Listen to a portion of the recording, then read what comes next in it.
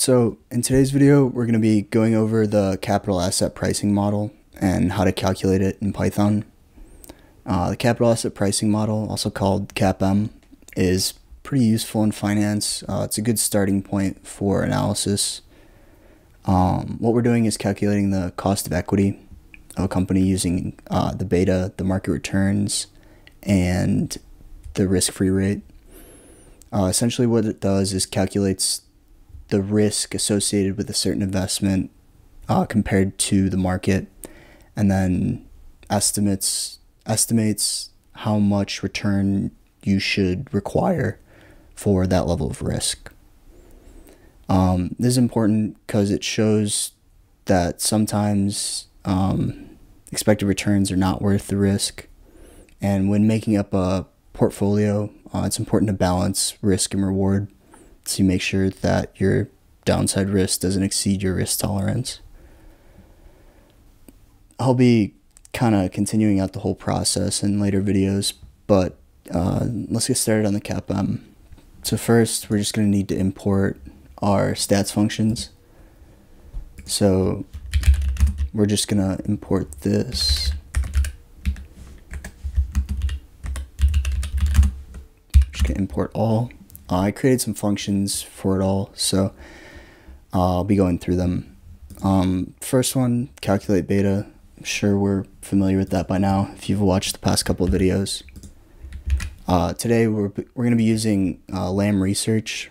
Uh, they're a semiconductor researcher that has deals with a lot of big semiconductor companies. They're kind of the first line in the chain. So when big semiconductor companies do well, they also benefit. I'm just doing a little research on them right now. Um, first, just gonna calculate our beta. Done that before. You're just regressing the market returns on the uh, stock returns. And we didn't import it. So beta is important because it tells us our expected risk and reward compared to the market.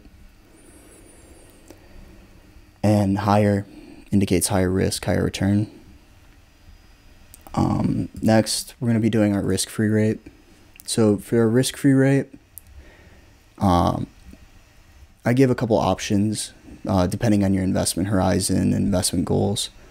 Um, typical three month is a good proxy for risk free rate because treasuries are not technically risk free, but they're about as close as you can get. So, what we're going to be using for this is Fred. So, Fred is, if you're not familiar, one of the big economic data suppliers. Um, they're from the St. Louis Fed. Um, so, it's, it's pretty reliable data, I would say.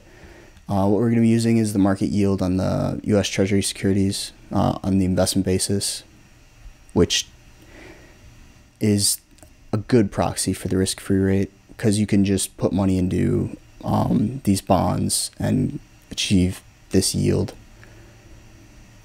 And to get this data, uh, we're going to be using Pandas data reader.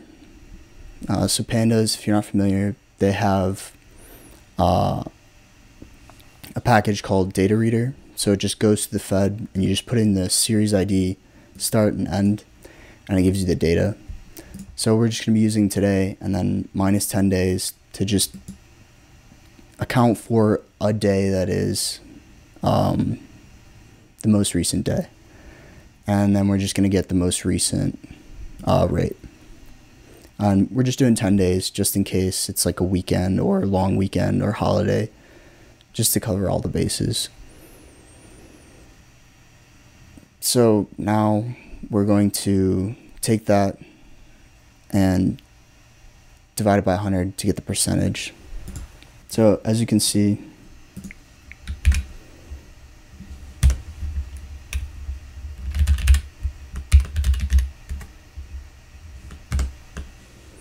we get our risk-free rate right here. Um, next, we're going to do our market return.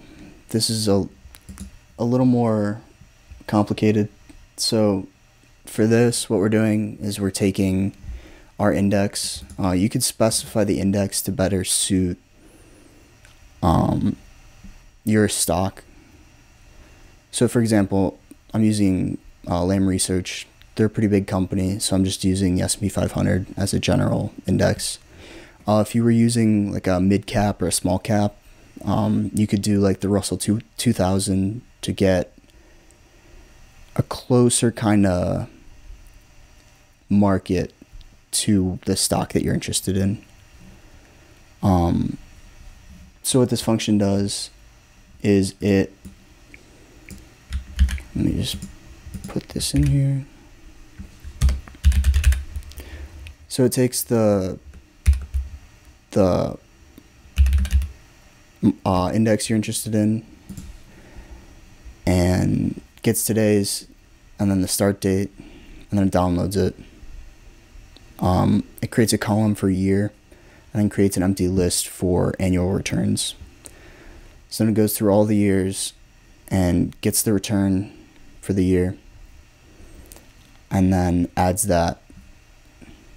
And then we use the geometric mean um, because the geometric mean accounts for compounding compared to the arith- arithmetic mean.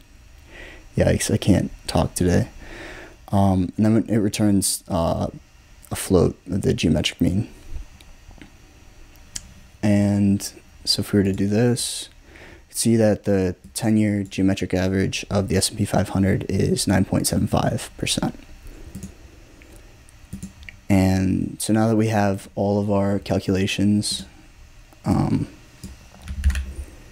we can calculate our CAPM.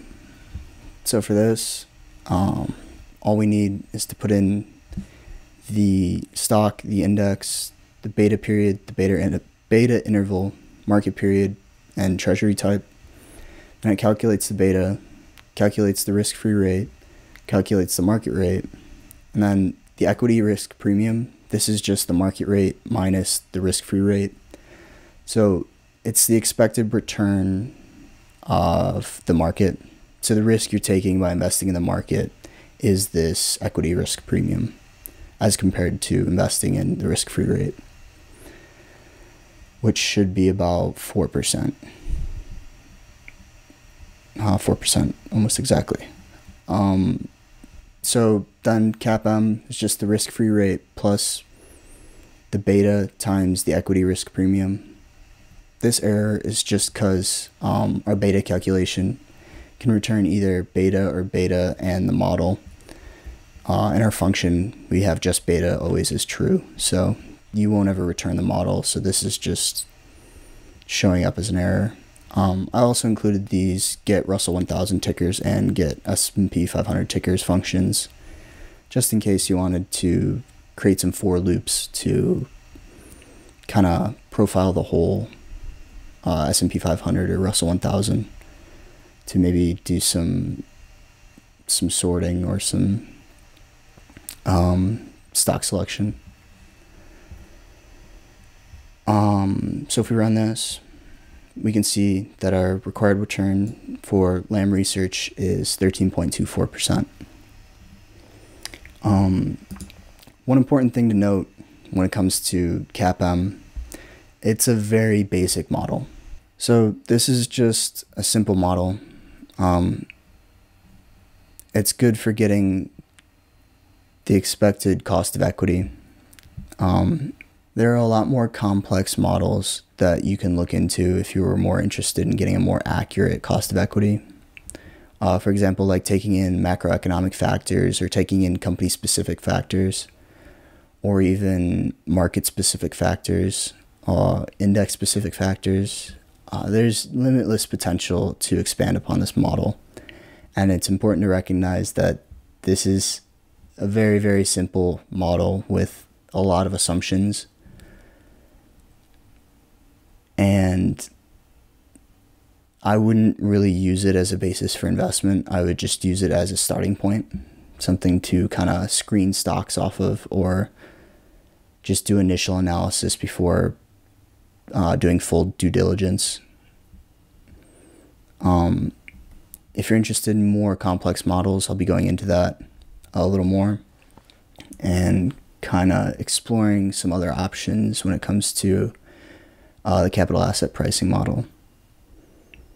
Um, oh, one last thing is it assumes a linear, linear relationship between expected return and risk, which may over, oversimplify the, that relationship because um, financial markets are often more complex than uh, just linear relationships. So be aware of that. And it also assumes that beta is stable over time, which, uh, as we saw from the last couple, may not hold true. Um, even just testing within the confidence interval of the beta that we calculated last time is important, just so you get the full range of